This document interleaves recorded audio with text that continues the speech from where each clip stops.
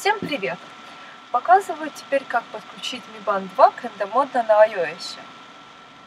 Как вы видите,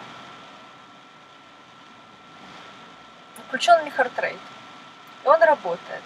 Как вы видите, тоже здесь Mi Band 2 подключен. Теперь Mi Heart Rate меряет пульс.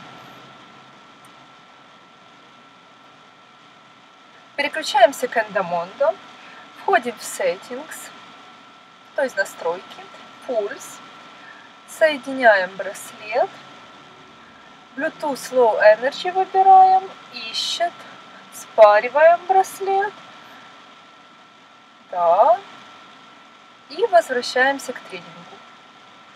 И вы теперь видите в Эндомондо свой пульс. Итак, это просто, Rate работает с Эндомондо, приятного бега, всем спасибо, пока!